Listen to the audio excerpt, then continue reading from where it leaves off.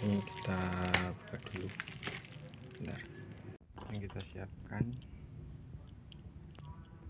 untuk memasang konektor F press saya menggunakan konektor F lebih kuat dibanding yang konektor yang biasa. Sinyalnya lebih bagus.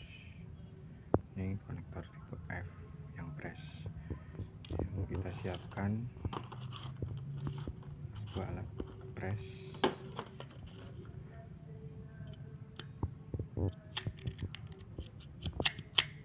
fungsinya buat ngejepit nanti ini hitamnya akan mengecil mengkerut dia akan masuk sini dan menekan kabel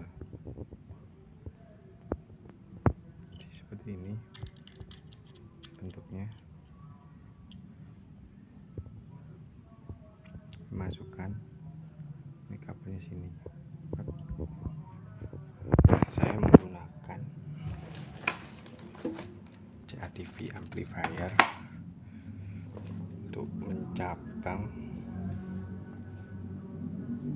dua satu antena buat dua TV bahkan bisa buat satu RT satu antena dengan ini. Jadi sinyalnya tidak akan loss. Ini ada pengaturan gain. Ini yang saya pakai 20 dB maksimal ini berfungsi sebagai booster dan splitter. Alat ini cocok dipakai untuk mencabangkan satu antena untuk dua TV atau tiga TV atau lebih.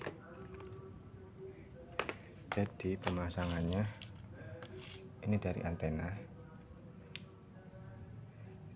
keluar satu TV dua TV ini saya pakai dua TV nah untuk bisa 50 TV atau lebih kita bisa memakai CATV yang outputnya 50 TV teman harganya mahal. Kalau ini saya beli cuma 50.000 di online shop. Nah ini bisa dicabangin lagi ke CATV berikutnya bisa bercabang-cabang sampai satu RT alat ini lebih efektif daripada tidak menggunakan ini karena sinyal TV digital itu sangat sensitif. Jika dia kurang sinyalnya dia akan patah-patah. Sinyal ini sinyal TV digital kan dia menggunakan uh, mengirim sinyal itu secara mengirim data bukan sinyal biasa. Jadi harus kualitas sinyal di atas 50% kalau di bawah kurang 50% maka akan patah-patah dan hasil channelnya akan lebih sedikit. Saya menggunakan antena Toyosaki AIO 220 yang udah ada splitter cuman di rumah menggunakan 3 TV jadi harus ditambahin lagi satu ini. Untuk menambahkan satu TV nya lagi. Oke kita coba. Kita rangkai dahulu terlebih dahulu. Kabel konektor TF nya di oh ya di sini sudah ada bawaannya. Di sini sudah dikasih bawaan. Konektor tipe F tapi yang biasa. Nah kalau kekurangannya ini ini gampang lepas jika ketarik. Atau gampang loss power sinyal untuk pemasangannya ini tidak perlu menggunakan alat. Ini tinggal dikupas kira-kira segini sekitar 3 mili.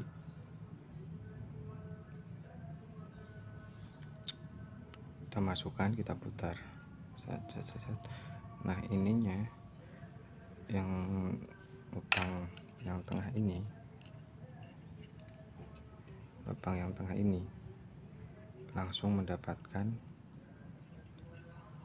dari lubang tengah ini dari tembaga kabel jadi langsung nyolok.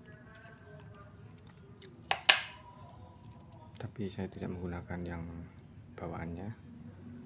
Saya menggunakan konektor F yang press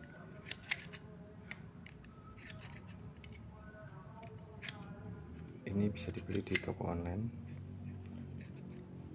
Harga cuma 70.000 daripada menggunakan ini yang kadang suka loss power. Oke kita kupas dahulu kabelnya. Untuk kabel saya tidak menggunakan potongan khusus saya hanya menggunakan cutter dan tang potong kita potong sekitar 3 mili. Kita potong sekitar 3 mili. Kita potong sekitar 3 mili. Kemudian kita sisain. Oh kalau memang ragu begini saja. Kita potong sekitar panjang kira-kira. Itu sampai hitam sini. Hitam, hitam yang press tengahnya sini ada kayak garis kita potong sampai segini saja.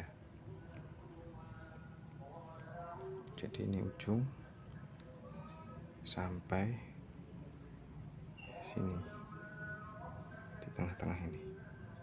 Oke kita kupas dulu karena saya menggunakan satu kamera satu tangan susah maka video akan saya pause dulu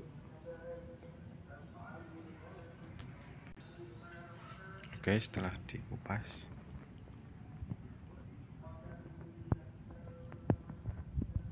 Setelah dikupas kita tarik serabut yang dalam kabel serabut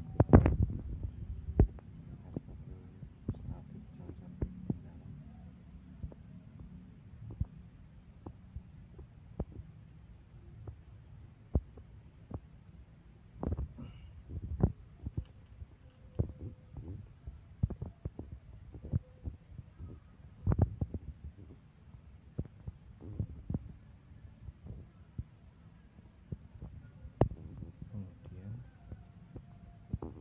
yang kabel putih yang isolator dalam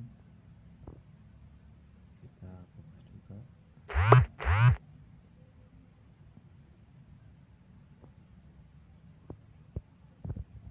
kita kupas kira-kira panjangnya dari sini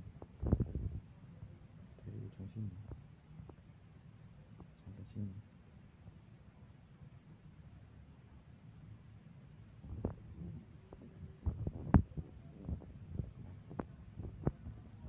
dari ujung sini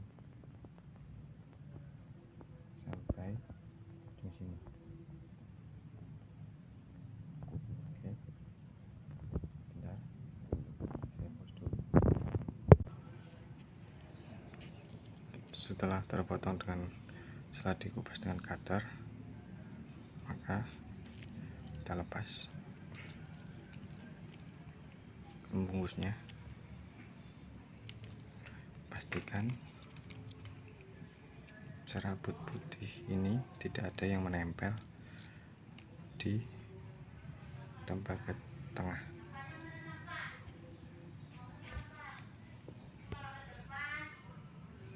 serabut putih ini jangan sehelai pun jangan nempel ke tengah karena bisa mengakibatkan konslet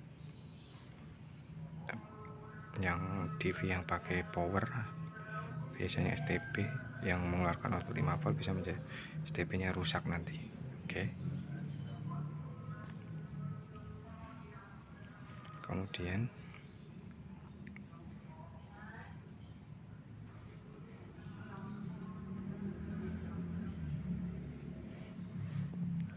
kemudian kita masukkan. Kita masukkan kabel ini. Posisi serabut seperti ini.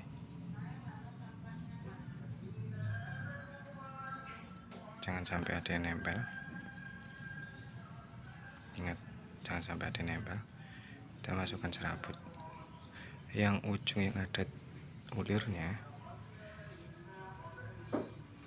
ini digunakan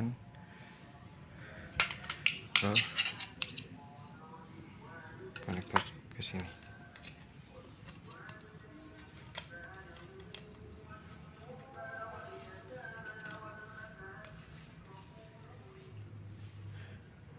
Yang ujung ada ulirnya kita masukkan ke kabel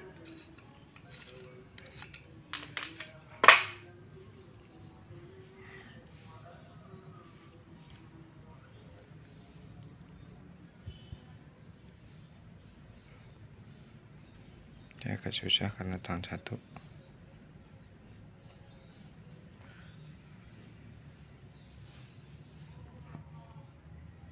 Seperti ini masuk. Bentar. Saya pasang dahulu. Karena harus benar-benar masuk. Yang putih harus nyampe ke depan. Oke penampakannya seperti ini. Kemudian kita press dengan tang press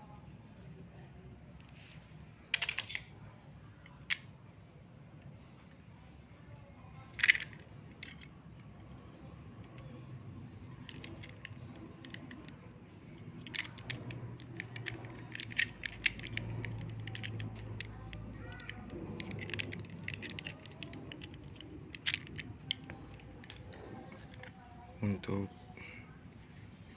kap tembaga yang kuning kita masukkan ke lubang ini. Oke.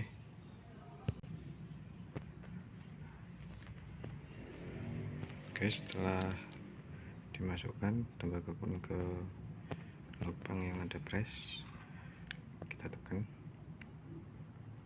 Agak keras. Bisa sekali dua kali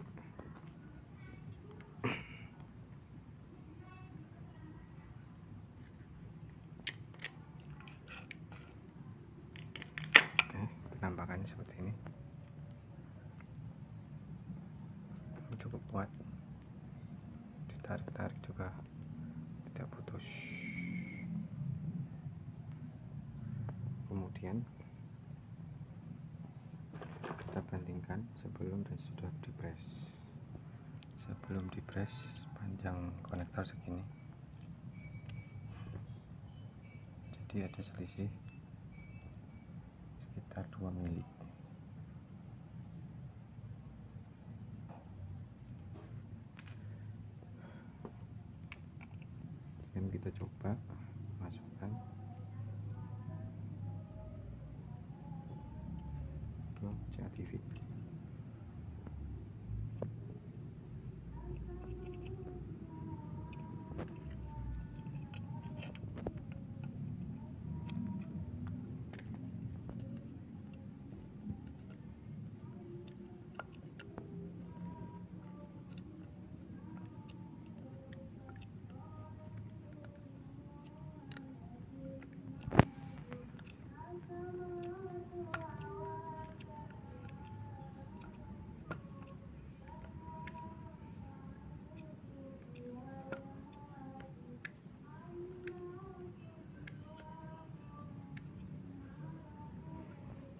cukup bagus dan rapi. Coba kita tarik.